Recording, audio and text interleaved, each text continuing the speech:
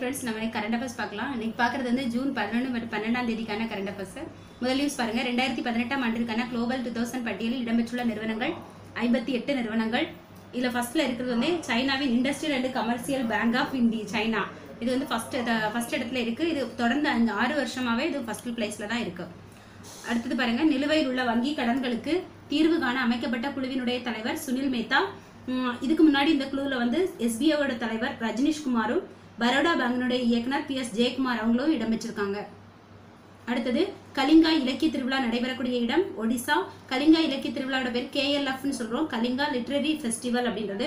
கலிங்கம் முன்னாடி வந்து அதனுடைய ஒடிசாவும் முன்னாடி கலிங்கம் அப்படின்னு சொல்லுவாங்க. அடுத்தது உலகக்கோப்பை கால்பந்து போட்டியில் எந்த அணி வெல்லும் என முன்கூட்டியே அறிய அதிகாரப்பூர்வமாக அறிவிக்கப்பட்டுள்ள விலங்கு பூனை. அதோட நேம் வந்து அச்சிலிஸ். இப்போ ஒவ்வொரு வருஷமே கால்பந்து போட்டி நடைபெறதுக்கு முன்னாடி இந்த மாதிரி ஒரு விலங்கினத்தை வந்து க- கண்டுபிடிக்கிறதுக்காக அதி அதிகாரப்பூர்வமாக அறிவிப்பாங்க. ஸோ டூ தௌசண்ட் டென்ல பார்த்தீங்கன்னா அக்டோபர்ஸ் அப்படின்றத அதிகாரபூர்வ அதிகாரப்பூர்வ விலங்கு அறிவிச்சிருந்தாங்க. அதோட நேம் வந்து பால். டூ தௌசண்ட் ஃபோர்டீன்ல வந்து ஒட்டகம் அதோட பேர் வந்து சாஹின்.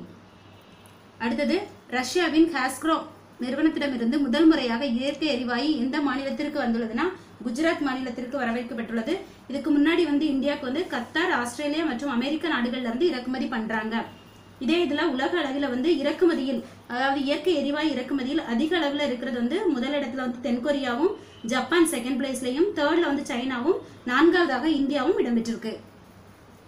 அடுத்தது ஆசிய ஜூனியர் தடகள போட்டியில் இந்தியா பெற்றுள்ள பதக்கங்கள் பதினேழு பத பதக்க பட்டியலில் இந்தியாவோட பிளேஸ் வந்து மூன்றாவது இடத்துல இருக்கு. இந்த ஆசிய ஜூனியர் தடகள போட்டி நடைபெற்ற இடம் ஜப்பான்ல உள்ள ஹிபு நகர். அடுத்தது உலக அளவில் மின்கழிவை அதிக அளவில் உற்பத்தி செய்யும் நாடுகள் பட்டியல் வெளியிட்டிருக்காங்க. வெளியிட்டது வந்து அசோசாம்ன்றது ஆஹ் இதுல வந்து வெளியிட்டிருக்க பட்டியலில் வந்து ஃபர்ஸ்ட்ல வந்து India China America Japan and Germany நாடுகள் இருக்கு. அடுத்தது நியூஸ் பாருங்க. இந்தியாவில் முதல் முதலில் தனது கிளையை திறக்க உள்ள வெளிநாட்டு ஃபர்னிச்சர் நிறுவனம் ஐகேஇஃபிஐ என்றது. ஸ்வீடன் நாட்டிலுள்ளது. இங்கே வந்து ஹைதராபாத்தில் அதனுடைய முதல் கிளையை திறக்கிறாங்க. அடுத்தது இஸ்ரோ தலைவர் கே சிவனுக்கு டாக்டர் பட்டம் அளித்த பல்கலைக்கழகம் வேல்ஸ் யுனிவர்சிட்டி அளித்தது வந்து நம்முடைய ஆளுநர் பன்வாரிலால் புரோஹித். ரயில் பயணிகளுக்கான இரண்டு புதிய செயலிகள் அறிமுகப்படுத்தப்பட்டிருக்கு. ஃபர்ஸ்ட் ஒன் பாருங்க மெனு ஆன் ரயில்ஸ் இது வந்து உணவுப் பொருட்கள் பற்றியது இது. தொண்ணூத்தி ஆறு வகையான உணவுப் பொருட்கள் வந்து ரயில்ல கொடுக்குறாங்க. ஸோ அது எந்த அந்த அதனுடைய டீட்டெயில்ஸும் அதனுடைய சம்பந்தமான புகார்களுக்குமாக இந்த ஆப் அறிமுகப்படுத்தியிருக்கு. இன்னொன்று பார்த்தீங்கன்னா ரயில் மேட்ஸ் அப்படின்றது. இது பயணிகளின் குறைபாடுகள் மற்றும் பாதுகாப்பு சம்பந்தமானதும் அவசர உதவிகளுக்காகவும் அனுப்பு இதை வந்து அறிமுகப்படுத்தியிருக்காங்க. அடுத்தது இந்திய பெருங்கடலை ஆய்வு செய்வதற்காக இந்தியா வந்துள்ள அமெரிக்க விஞ்ஞானிகள் இருபது பேர் வந்திருக்காங்க. கோவால தான் உங்களுடைய ஆய்வு நடந்துட்டு இருக்கு இந்திய இது எதுக்காக அப்படின்னு பாத்தீங்கன்னா பருவகால மேம்பாடுகள் பற்றி ஆய்வு செய்வதற்காக வந்திருக்கு. அடுத்தது டெல்லிக்கு முழு மாநில அந்தஸ்து கோரும் தீர்மானம் டெல்லி சட்டப்பேரவையில் நிறைவேற்றப்பட்டுள்ளது. இப்போ வந்து டெல்லி வந்து தேசிய தலைநகர் பகுதியாக இருக்கு. அதனால வந்து அதுக்கு முழு மாநில அந்தஸ்து கோருவதற்கான தீர்மானம் நிறைவேற்றப்பட்டுள்ளது. அடுத்த நியூஸ் பாருங்க. இருபத்தி ஒன்னு பொதுத்துறை வங்கிகளில் கடந்த ஆண்டில் லாபம் ஈட்டியுள்ளதாக ரிசர்வ் வங்கியுடன் கணக்கு காட்டியுள்ள வங்கிகள் இரண்டு வங்கிகள் கணக்கு காட்டியிருக்காங்க. ஒன்னு வந்து இந்தியன் வங்கி இன்னொன்னு விஜயா வங்கி. அடுத்த நியூஸ் ஹாங்காங்கில் ஜனநாயகத்திற்கு ஆதரவாக போராடிய முன்னணி தலைவர் எட்வர்ட் லியங் ஜூன் பனிரெண்டு என்ன தினம்னா சர்வதேச குழந்தை தொழிலாளர் முறை ஒழிப்பு தினம். உலகக்கோப்பை கால்பந்து போட்டியில் அதிகாரப்பூர்வமாக பந்து கொண்டு செல்பவர்களாக தேர்வு செய்யப்பட்டுள்ள சிறுவர்கள் இரண்டு பேர் இந்தியாவிலேருந்து இருந்து பண்ணியிருக்காங்க ரிஷி தேஸ் அப்படின்றவர் கர்நாடகா சேர்ந்தவர். நத்தானியா ஜான் வந்து தமிழ்நாட்டுக்காரங்க. வேர்ல்டு லெவலில் வேர்ல்டில் ஃபுல்லாகவே சேர்ந்து அறுபத்தி நான்கு சிறுவர்கள் தேர்வு செய்யப்பட்டிருக்காங்க. இதில் வந்து ஃபிஃபாவோட அதிகாரப்பூர்வ பங்குதாரராக இடம்பெற்றுள்ள இந்திய நிறுவனம் பார்த்தீங்கன்னா கியா மோட்டார்ஸ் நிறுவனம். இந்த சிறுவர்கள் தான் வ- வர ஒவ்வொரு தடவையும் கொண்டு போவாங்க. இதில் வந்து maximum ten to fourteen age சிறுவர்கள் தான் பங்கு கொள்வாங்க. அடுத்த நியூஸ் பாருங்கள் வெளிநாடுகளிலிருந்து அதிகமாக பணம் பெற்ற நாடுகள் பட்டியலில் இந்தியா முதலிடத்தில் இருக்கு. இது வந்து ரெண்டாயிரத்தி பதினாறை விடைக்கும் ரெண்டாயிரத்தி பதினேழுல வந்து டென் பர்சன்டேஜ் அதிகம். இதுல வந்து அதிகமான பணம் வந்து வளைகுடா நாடுகள்ல இருந்து தான் வருது. இதுல இந்தியாவுக்கு அதிகமாக பணம் அனுப்பு அனுப்புதல்ல ஃபர்ஸ்ட்ல இருக்குது ஐபி ஐக்கிய அரபு அமீரகம் செகண்ட்ல வந்து அமெரிக்கா தேர்ட்ல வந்து சவுதி அடுத்து குவைத் கத்தார் ஓமன் இந்த மாதிரி நாடுகள் இருக்கு. இப்போ பாத்தீங்கன்னா இதுல வந்து இனிமேல் நெக்ஸ்ட் இயர்ல பாத்தீங்கன்னா இதை இதை இந்த மாதிரி பணம் பெற்ற நாடுகள் பட்டியல்ல இருக்கக்கூடிய நிறைய நாடுகளில் மேக்ஸிமம் மினிமம் இப்போ வந்து ஐ- ஐந்து நாடுகள் கொடுத்துருக்காங்க. அந்த ஐந்து நாடுகளும் வந்து அதனுடைய அமௌண்ட் வந்து குறையும் அப்படின்றது அனுசரி பண்ணுறாங்க எதனால அப்படின்னா இப்போ வந்து ஐந்து நாடுகளில் பணியமர்த்தல் இந்த இந்தியாவிலேருந்து வெளியில் வ- வரக்கூடியவங்களுக்கு பணியமர்த்தல் சட்டத்தில் திருத்தம் கொண்டு வந்திருக்காங்க. ஸோ அதனால இனிமேல் வந்து இது குறையிறதுக்கு வாய்ப்பு இருக்கும் அப்படின்னு சொல்கிறாங்க இது வந்து வளைகுடா நாடுகளில் தான் அறிமுகப்படுத்திருக்காங்க.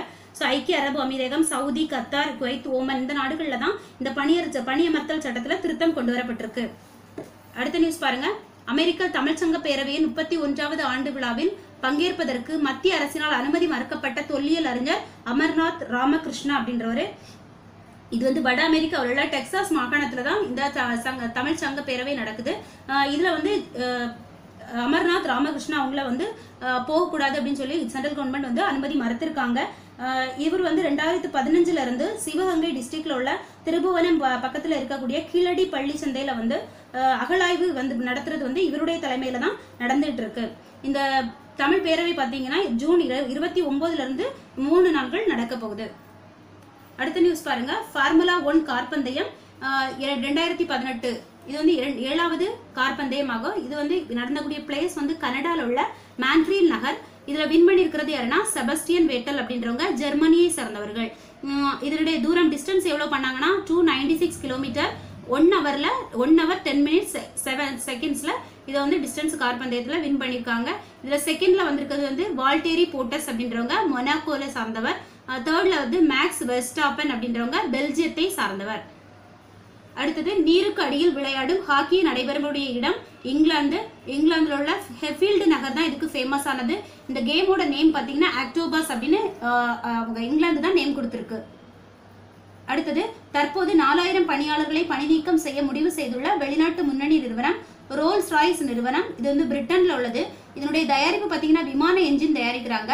மினிமம் அவங்க கிட்ட இப்போ வந்து ஃபிஃப்டி தௌசண்ட் பேர் வ- அடுத்தது ஜி செவன் உச்சி மாநாடு நடைபெற்ற பிளேஸ் வந்து கனடா கனடாவில் உள்ள ஹியூபக் மாகாணத்தில் உள்ள லம்மால்பே நகர் அப்படின்ற பிளேஸ்ல தான் ஜி செவன் உச்சி மாநாடு நடந்தது. இதில் இதுல வந்து நடை இதுல கலந்து கொண்ட நாடுகள் ஜி செவன் நாடுகள் எதுன்னு பாத்தீங்கன்னா ஏழு நாடுகள் இருக்கு. Canada America England France Italy Japan மற்றும் ஜெர்மனி. சரி ஃப்ரெண்ட்ஸ் இன்னைக்கு நம்ம கரண்ட் அஃபேர்ஸ் பார்த்தாச்சு. ஆஹ் இன்னைக்கு உள்ளது உங்களுக்கு புரிஞ்சிருக்கும்னு நினைக்கிறேன். இல்லை ஏதாவது டவுட்ஸ் இருந்துச்சுன்னா கமெண்ட் பாக்ஸில் கமெண்ட் பண்ணுங்க. உங்களுக்கு இந்த வீடியோ பிடிச்சிருந்துச்சுன்னா லைக் பண்ணுங்க. கண்டிப்பாக கண்டிப்பாக எங்கள் சேனலை சப்ஸ்கிரைப் பண்ணுங்கள் தேங்க்யூ